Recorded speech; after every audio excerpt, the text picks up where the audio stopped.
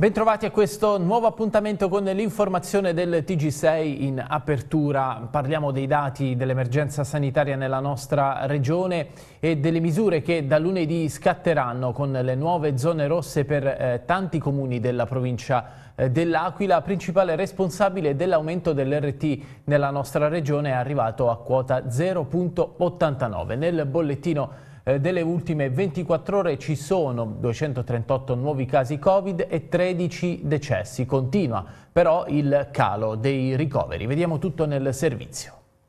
Ricomincerà con 41 comuni in zona rossa da lunedì la settimana dell'Abruzzo che resta zona arancione ma è preoccupato dall'aumento dei casi nella provincia aquilana, proprio quella al centro dell'ordinanza firmata ieri sera al termine della riunione del venerdì dell'unità di crisi della regione Abruzzo. L'indice RT dopo settimane di discesa continua è tornata ad aumentare assestandosi a 0,89, un incremento causato proprio dall'aumento dei contagi nella provincia dell'Aquila. Dunque da lunedì Avezzano ed altri 36 comuni comuni della Marsica, della Valle Roveto ma anche della Piana di Navelli saranno oggetto di più stringenti restrizioni a fronte dell'uscita da zona rossa di Prato Peligni e Corfinio. Nelle altre province escono dalle maggiori restrizioni Lentella per il Chietino, Colle Corvino, Roccamorice e San Valentino per il Pescarese, Santomero, Sant'Egidio alla Vibrata, Alba Adriatica, Canzano e Pietraltra di Valle Castellana per il Teramano, dove però ci sono tre comuni che entrano in zona rossa e sono Martinsicuro, Colonnella e Nereto. Per quanto riguarda i dati odierni sono 238 i nuovi positivi con un tasso di positività che si attesta al 4% in discesa di un punto rispetto a ieri. Sono 13 invece i decessi recenti mentre aumentano le guarigioni ma anche gli attualmente positivi. Ancora in calo i ricoveri, più decisamente in area medica, meno 14, ma anche in terapia intensiva dove si è liberato un posto letto. Inaugurato il centro vaccinale della caserma Antiochia Pescara, i poliziotti vaccineranno anziani e soggetti fragili. Il servizio è di Giuseppe Dintino. Anche la polizia somministra i vaccini, aperto il centro vaccinale alla caserma di Via Salara Vecchia, Pescara a volte combinare delle sanzioni, è necessario ma sicuramente non è un compito che gratifica l'operatore di polizia. Essere qui al servizio dei nostri anziani, somministrando magari una dose di vaccino che forse sarebbe stata somministrata con qualche mese o qualche settimana di ritardo, noi sappiamo che il tempo gioca a nostro sfavore, quindi aprire queste linee di vaccinazione, farlo presto e farlo qui per noi è importantissimo, siamo molto orgogliosi, quindi è il regalo che la Polizia di Stato e quella di Pescara in particolare fa a tutta la città e alla provincia. Per i prossimi tre mesi, per tre mattine a settimana, qui saranno vaccinati gli ultimi over 80 che non hanno ancora ricevuto la dose e i soggetti fragili. Due le linee vaccinali a cui se ne potrebbe aggiungere una terza in futuro. Oggi per questo tipo di popolazione faremo il vaccino Pfizer, ovviamente anche in base alle circolari che usciranno, eventuali nuovi vaccini, noi siamo a disposizione dell'ASL, quindi seguiremo quelle che sono le indicazioni che ci arrivano dall'ASL che le recepisce poi dal, dal Ministero. Intanto da ieri è iniziata la vaccinazione anche degli ultra settantenni che saranno contattati dal sistema poste e riceveranno le indicazioni per poter prenotare la propria inoculazione. Questa è veramente una sinergia importante. Poi per quanto riguarda eh, poco o molto l'importante è vaccinare come dicevo prima perché eh, è il più grande strumento di mitigazione della diffusione del virus, il vaccino. È stata eseguita questa mattina per circa quattro ore da parte del eh, medico legale Pietro Falco l'autopsia sul corpo di Sabatino Trotta che si è tolto la vita nel carcere di Vasto dopo essere stato arrestato mercoledì nell'inchiesta su presunti appalti truccati per la gestione delle residenze psichiatriche extra ospedaliere. Dopo l'interrogatorio di ieri, intanto, il GIP del Tribunale di Pescara Colantonio ha disposto i domiciliari per Luigia Dolce, arrestata eh, assieme ad un altro eh, gestore della cooperativa eh, La Rondine, Domenico Mattucci. Vediamo il servizio. Una volta completati gli esami istologici e tossicologici saranno più chiare le cause della morte di Sabatino Trotta, il direttore del Dipartimento di Salute Mentale dell'ASL di Pescara che si è tolto la vita mercoledì notte nel carcere di Vasto, poche ore dopo l'arresto a seguito dell'inchiesta della Procura di Pescara su un presunto appalto truccato da 11 milioni di euro. Questa mattina il medico legale Pietro Falco nell'ospedale di Chieti ha effettuato l'autopsia disposta dalla Procura di Vasto che indaga per istigazione tentazione al suicidio. L'obiettivo è fare luce sugli ultimi istanti di vita di Trotta, che si sarebbe suicidato utilizzando il cordoncino della tuta che indossava.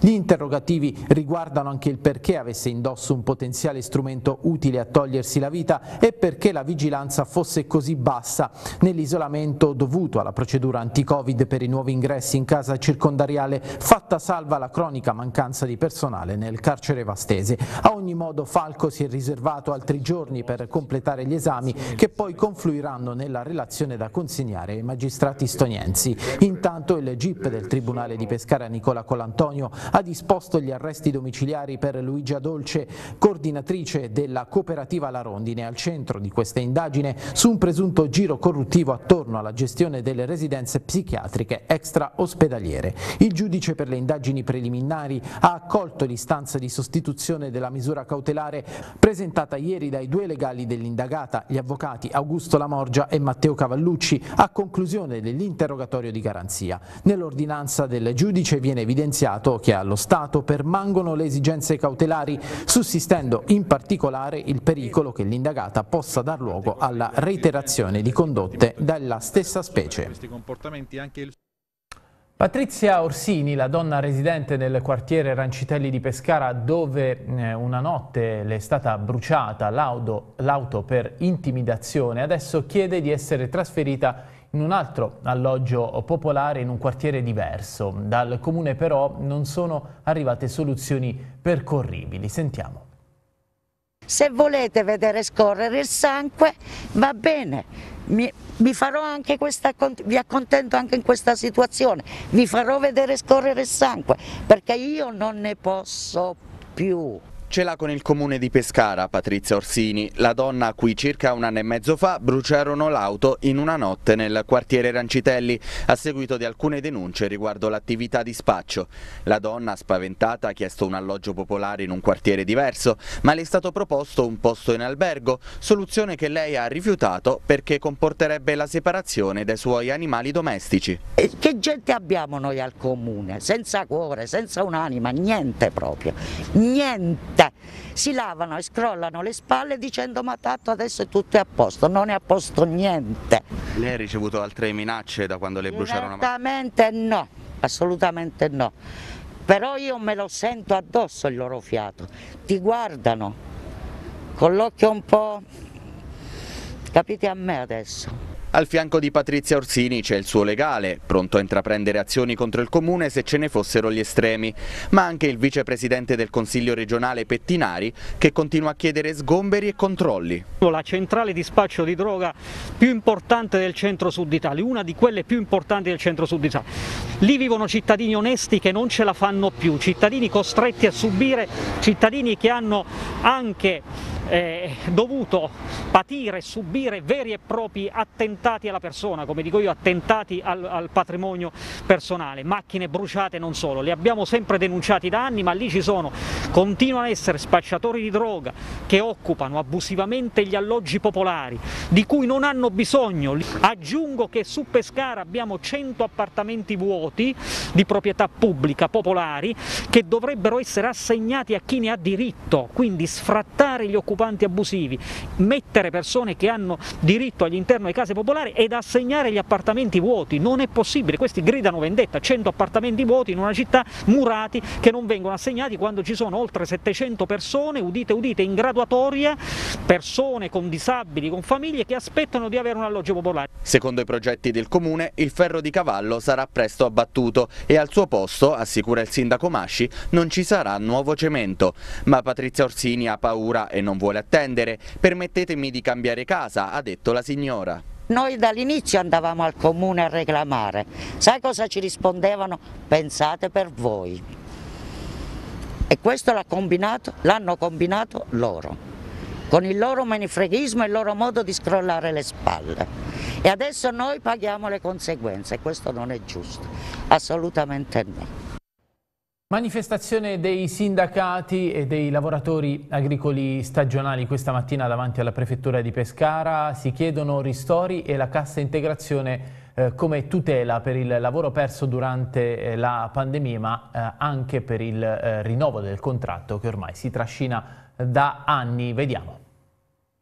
Sindacati in piazza davanti alla prefettura di Pescara a favore dei lavoratori agricoli stagionali. CGL, CISL e WIL chiedono tutele, ristori e cassa integrazione, ma anche il rinnovo del contratto al palo da prima della pandemia. In piazza per chiedere cosa?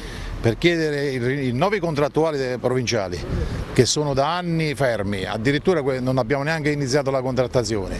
Per quanto riguarda la provincia di Pescara siamo a sei anni di arretrati e per quanto riguarda quella di Termo siamo arrivati a dieci, ma anche le altre province stanno a due o quattro anni senza rinnovo.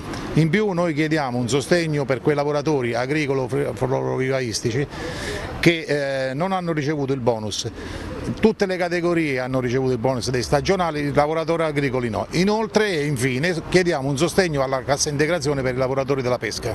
Siamo qua per rivendicare penso i nostri diritti. La nostra cartina al tornasole degli OTD, quindi degli operai a tempo determinato, sono le giornate. Proprio in questi giorni l'Inps ha pubblicato gli elenchi anagrafici e se andiamo a controllare statisticamente ci sono il 25%, quasi il 26%, 25,6% preciso, di giornate in meno fatte. Quindi quello che si dice e si fa si ritrova, nel senso che se siccome la disoccupazione agricola, quindi la previdenza agricola si gioca sulla disoccupazione e la scusa del, del governo è stata che gli operai agricoli per non avere ristori prendono la disoccupazione, però c'è un gioco di sotto, Le, la disoccupazione va in base alle giornate, quindi essendoci il 25% di meno c'è molta gente che non riuscirà a prendere la disoccupazione. Siamo presenti in piazza in tutte le prefetture delle, delle province d'Italia anche per, eh, per, manifestare per il supporto del rinnovo del contratto agricolo, eh, per, um, per, il rinnovo del contratto del, dei forestali, di tutto il comparto della, del settore settore, appunto, del settore mm, agricolo, eh, fermo ormai da diversi anni, eh, che non ha eh, spostato insomma, la, sul tavolo delle trattative nessun passo in avanti fino ad oggi. Ora la politica, primi movimenti a penne in vista delle prossime elezioni amministrative tra i partecipanti e anche Rifondazione Comunista che attacca duramente i partiti che hanno amministrato la città. Vediamo il servizio di Stefano Recanati. Cominciano a scaldarsi i motori a penne in vista della nuova tornata elettorale che a meno di ulteriori novità ci sarà nel prossimo autunno. Chi proverà a sedersi sullo scranno più alto di Palazzo di Città è Rifondazione Comunista che tramite il suo coordinatore comunale Gabriele Frisa è già al lavoro per formare una lista elettorale. Noi stiamo lavorando a fare una lista aperta che si contrapponga a chi ci ha governato negli ultimi 15-20 anni, cioè hanno fatto disastri, chiaramente per noi non è il problema del sindaco, o di chi farà il sindaco, il problema è di creare una squadra che si contrapponga a tutta questa gente che ci ha governato da vent'anni a questa parte. Per Frisa la gestione dell'ospedale San Massimo è l'apice di una politica errata nel corso degli ultimi 15-20 anni, così come va risolta la crisi che attanaglia la Brioni Roman Style. Eh, questi lavori sono stati annunciati prima a maggio che dovevano iniziare a novembre, poi hanno detto che inizierà ad aprile, nel frattempo ci hanno detto anche che mettevano nuovi medici, nuovi infermieri, riaprivano i reparti, niente di tutto questo. L'unico investimento che abbiamo visto, se investimento si può chiamare, è questo container che costa 2.500 euro al mese di affitto, di noleggio. Oggi siamo ridotti all'unicidio, quasi un ospedale da campo, per dare tutti questi soldi alle cliniche private. Poi abbiamo la crisi della Brioni che nessuno sa come, eh, eh, nessuno si muove su questo. Abbiamo 21 parlamentari abruzzesi che stanno in Parlamento e nessuno, né sindaco di Penne né Regione Abruzzo si preoccupano di dire oh, vediamo cosa, come salvare la Brioni da questa crisi perché dopo il blocco e i licenziamenti non sappiamo come andrà a finire. Noi pensiamo che bisogna quantomeno creare, non so, degli incubatori di impresa oppure mettere in collegamento, in rete tutte le eccellenze che abbiamo nell'area vestina. Qui invece si ribalta sempre sotto elezioni di cosa si riparla? Della Mare Monti, che sono 50 anni che parliamo della Mare Monti e non si fa. Adesso ci spostiamo a Pineto dove Paolo Passamonti approda in Forza Italia. Questa mattina è stato ufficializzato il passaggio eh, con la presenza del coordinatore regionale azzurro Nazario Pagano che ha anche parlato dell'ingresso del sottosegretario D'Annuntis in Fratelli d'Italia. Sentiamo. Forza Italia annuncia a Pineto il passaggio nelle sue fila di Paolo Passamonti, ex candidato sindaco, espressione della lista civica sicuramente Pineto. A farlo nel corso di una conferenza stampa il senatore Nazario Pagano, coordinatore regionale del partito, esattamente il giorno dopo aver incassato la soluzione, con formula piena, dal Tribunale di Rimini sulla vicenda Rimborsopoli che travolse la legislatura Chiodi. Ma oltre a illustrare l'opera di riorganizzazione di Forza Italia che vede su base locale la fattiva attività del coordinatore provinciale di Teramo, Gabriele Astolfi si è parlato anche del cambio di casacca del consigliere forzista e sottosegretario alla presidenza della giunta regionale Umberto D'Annuntis, approdato in Fratelli d'Italia. Pagano ha chiesto direttamente al presidente della regione Marco Marsilio il ritiro della delega e ha etichettato come gesto di debolezza l'attività di compravendita tra esponenti politici all'interno della stessa coalizione di centrodestra. Ciò che non va bene è che lui abbia mantenuto e che il Presidente della Regione gli abbia fatto mantenere delle deleghe che nulla avevano a che fare con lui personalmente ma semplicemente col partito, quindi è chiaro che c'è un problema che andrà affrontato la prossima settimana, sono già d'accordo con il collega di, della Lega perché bisogna riorganizzare e rimettere a posto le cose. Quindi noi non chiediamo il rimpasto, noi chiediamo semplicemente che Forza Italia eh, eh, che all'esito delle elezioni regionali aveva avuto un certo numero di seggi, un certo numero di voti e per quelli fu fatto un negoziato, gli venga riconosciuto, c'è poco da rimpastare, basta che D'Annuntis si dimette, punto e basta, è finita lì. Credo che fra alleati eh, eh, non si debbano fare queste cose, eh, c'è un patto, eh, il Presidente della Regione eh, fu deciso che dovesse essere a livello nazionale, che dovesse essere un esponente di Fratelli d'Italia, Forza Italia ha accettato, insieme alla Lega, ha accettato che fosse un esponente di Fratelli d'Italia, l'abbiamo lealmente sostenuto, eh, eh, arrivò eh, per primo la Lega, per secondo Forza Italia, per terzo Fratelli d'Italia, non si può utilizzare il ruolo di Presidente della Regione per creare squilibri all'interno di una maggioranza che invece dovrebbe pensare a ben altro.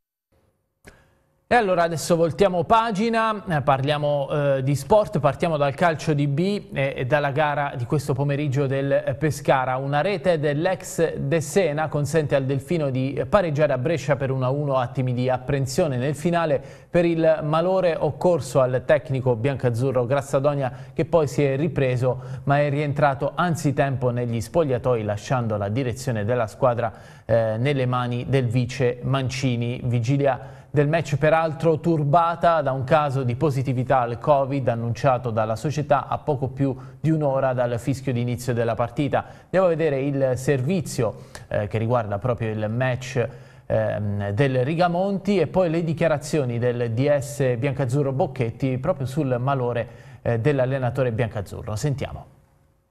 Un punto nonostante tutto di speranza per il Pescara che torna da Brescia con un pareggio che tiene viva ancora la speranza, cinque giornate dal termine del torneo. Ora bisognerà vincere con la Virtus Entella per poi affrontare il turno infrasettimanale di Cosenza, ancora con la speranza della salvezza in ballo. Grassadoni al Rigamonti conferma il 4-3-3 ma deve fare a meno di mezza squadra. Tra gli assenti anche un positivo al Covid. Nella formazione di casa in campo gli ex Donnarum e Bjarnason, prima parte di partita sui binari dell'equilibrio con la squadra di casa a fare la gara.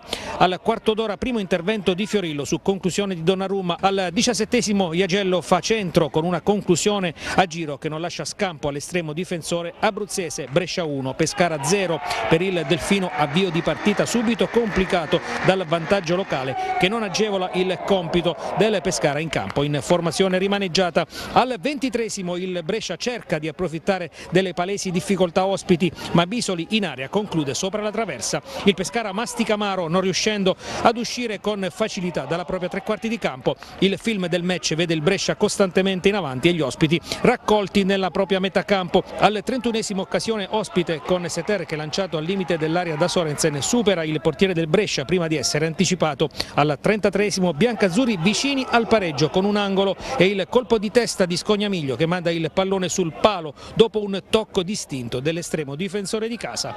Al 40 minuto si si infortuna Seter che deve lasciare il campo a Giannetti per gli abruzzesi è l'ennesimo contrattempo ad un suo calciatore in una stagione molto complicata. In campo poi non accade più nulla con il primo tempo che si chiude con il vantaggio di misura dei padroni di casa. Nella ripresa il Pescara parte all'attacco pur senza riuscire a pungere al nono ci prova Odgard ma la palla finisce fuori. Preme la squadra di Gianluca Grassadonia ma il Brescia si difende con ordine e così al ventesimo è Fiorillo a salvare un gol quasi fatto ad Aghiello. Grassadonia subito dopo opera la seconda sostituzione mandando in campo Riccardi per Capone con i padroni di casa che al ventiquattresimo falliscono il raddoppio con Aie che sul secondo palo alza sopra la traversa.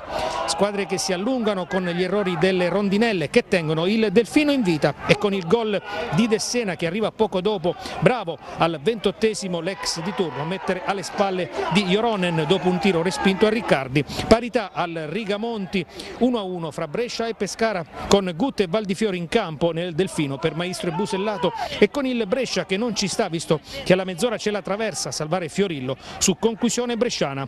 Ora il Pescara in campo con il 3-5-2. La gara resta ovviamente in bilico mentre al quarantesimo c'è un leggero marore per il tecnico del Pescara Gianluca Grassadonia che viene soccorso dai sanitari presenti al Rigamonti. Qualche attimo di paura con il gioco che resta fermo per 5 minuti e poi con il trainer abruzzese che rientra negli spogliatoi con le sue gambe. Tensione in panchina con il rosso al direttore sportivo Bocchetti.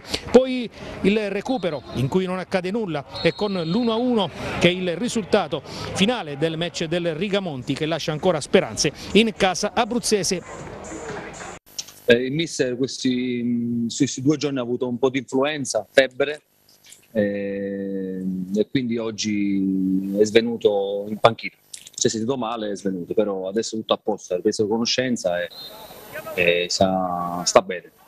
Rientra con noi a pescare tranquillamente, sì. Quindi mi sembra di capire solo, un, un calo di pressione. Un, un calo di pressione, sì. sì.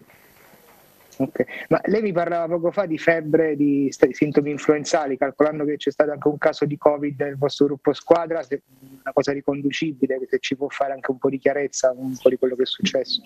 Ma non pensiamo che sia questo, pensiamo che comunque abbiamo avuto dei sbazzi di temperatura qui in ritiro, siamo passati dai 20 gradi ai 7-8 gradi nel giro di poche ore nel corso degli allenamenti, quindi eh, penso sia stato un fatto così, perché ieri sera comunque abbiamo fatto un'altra serie di tamponi e siamo usciti tutti quanti negativi, quindi escludo in questo momento qua questa, questa situazione di Covid. Questo è il servizio di Paolo Renzetti, adesso scendiamo di categoria, andiamo in Serie C domani alle 12.30, sfida esterna per il Teramo che va sul campo del fanalino di coda Cavese a caccia dell'intera posta in palio senza Tentardini squalificato e con Birligea out, Paci potrebbe varare il 3-5-2 con la coppia davanti formata da Pinzauti e Bombaggi e il trio Diachite Trasciani Piacentini dietro. Il tecnico biancorosso non si fida della classifica dei campani e chiede una prova importante ai suoi. Lo ascoltiamo in questo momento non dalle, dalle, ultime esperienze perché siamo rimasti molto scottati eh, non credo che sia giusto guardare la, le altre e la classifica nel senso che ricordo il viaggio di ritorno da Vibo Valencia è stato veramente pesante quindi non, non penso che sia giusto guardare ad altro che non sia a noi e alla nostra prestazione di domani e do, dovremmo essere bravi a fare un'ottima prestazione eh, penso che sia quello la, la, cosa importante, il focus, non spostarlo da lì, dovremmo essere bravi noi eh, a, a, giocare come do, dovremmo giocare domani e, e, e, fare il massimo. Quindi non, non, non mi sposterei tanto da, dalla nostra prestazione che è la cosa che conta più di tutti. In settimana abbiamo provato diverse soluzioni. Uh, per ovviare anche l'assenza di Tentardini. Uh, no, non so con che modulo affronteremo la gara di domani e non so neanche gli interpreti. Eh, però in settimana abbiamo provato diverse soluzioni. Eh, Birli Gea purtroppo non sarà della partita perché, perché um, è, è, un discorso nostro interno, abbiamo, abbiamo deciso di non, uh, di non, rischiare troppo perché durante la partita non è stato benissimo anche se ha fatto degli, un, ottimo, un ottimo ingresso però poi non, non, non, era al 100% e lui l'ha riferito, quindi anche in settimana non è stato al 100% e, e noi come, come, gruppo di lavoro insieme allo staff di fisioterapia abbiamo deciso di non rischiarlo perché non vogliamo, non vogliamo rincorrere in un altro errore, in, un altro errore, in un'altra situazione in cui si, si, può far male a ridosso di un finale di stagione e quindi abbiamo deciso per questa partita di non rischiarlo. La classifica, ok, la Cavese non vive un buon momento, ma la Cavese è composta da ottimi giocatori. Ha avuto, ha avuto delle difficoltà secondo me derivanti dal Covid, dalla situazione del Covid e, der- e der- derivante anche da tante partite difficili che ha avuto in casa nelle ultime, par- nelle ultime quattro partite ha affrontato Catanzaro, Catania, eh, Potenza e ha avuto, ha avuto, un calendario non semplice. Eh, è, una, è, una, squadra che ha cambiato spesso e volentieri volto perché non, a livello di, di sistema di gioco variano molto, è una squadra prettamente che, che, che fa della difesa la sua forza, eh, soprattutto quando gioca in casa è una partita difficile da affrontare perché quando si chiudono nella propria metà campo è una squadra difficile da affrontare. Non vorrei più vedere un secondo tempo come quello della Vibonese in cui la squadra non è stata in grado di reagire al pareggio, a una situazione di difficoltà. Eh, la mancata reazione è, stato, è stata una roba negativa perché nel calcio si può perdere, perdono anche le grandi squadre per carità, però eh, essere un po' remissivi e, e, lasciare andare il risultato così è stato per noi, per i ragazzi soprattutto, è stato abbastanza frustrante. Quindi credo che queste mie parole siano anche il loro pensiero da parte dei giocatori che non vogliono rivivere quel secondo tempo in cui, in cui non c'è stata una reazione. Eh, però è stata una grande esperienza per noi perché siamo rimasti molto toccati da quel secondo tempo e spero che abbiamo capito Domani 25esima giornata in Serie D col Castelnuovo che va a far visita al Campobasso, primo in classifica per il notaresco trasferta insidiosa a Castelfidardo così come quella del Giulianova allo Scopigno di Rieti. Impegno interno per il Pineto che dopo il successo nel recupero di mercoledì affronta il fanalino di coda atletico Porto Sant'Elpidio. Il servizio è di Jacopo Forcella.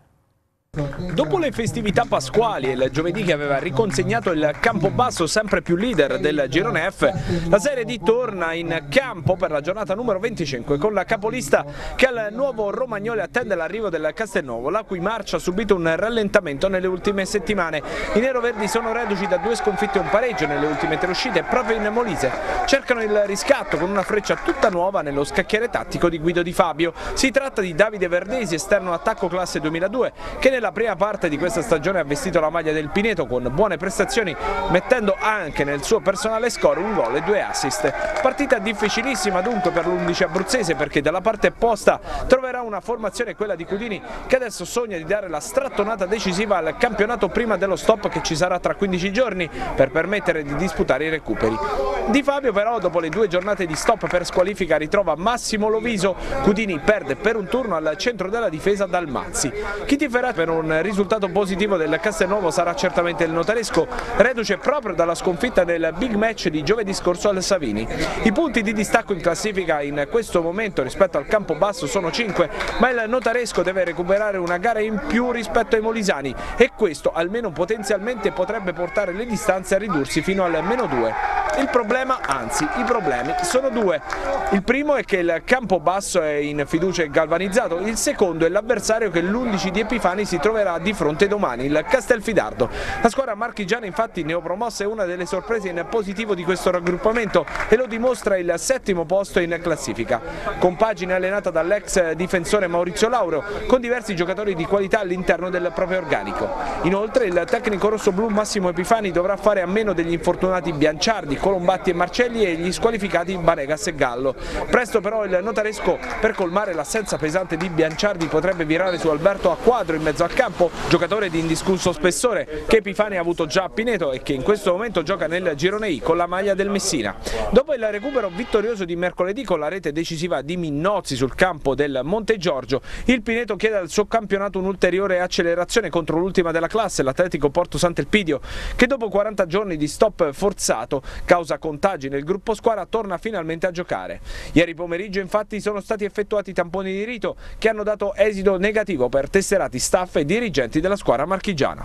Affrontiamo una squadra che ha cambiato allenatore da poco, è normale non affronta un ottimo momento di classifica, però le partite che ho visionato, che ho visto ultimamente loro, sono, eh, ti fa capire che è una squadra che la partita se la gioca, come detto tutti da filo da torcere, quindi non è una partita facile, non è una partita facile.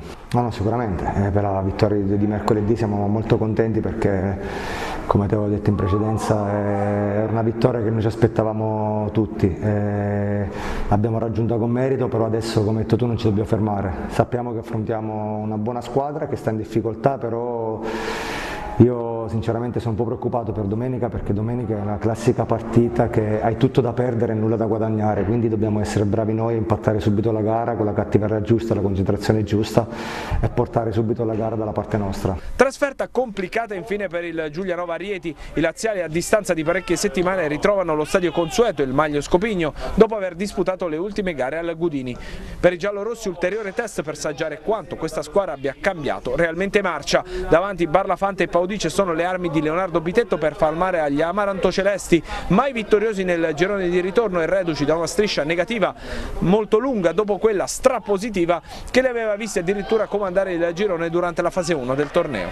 Giulianova che però in trasferta deve tornare a fare bottino pieno, l'ultima volta è stato il 3 marzo nel recupero contro l'Agnonese, successo pirotecnico per 2-3, rinviata infine la gara tra Monte Giorgio e Vastese. È tutto, il TG6 termina qui, io vi ringrazio per averci seguito, se volete on demand ci sono i nostri servizi mm, sui social, su YouTube e sul sito tv6.it, da parte mia l'augurio di una buona serata.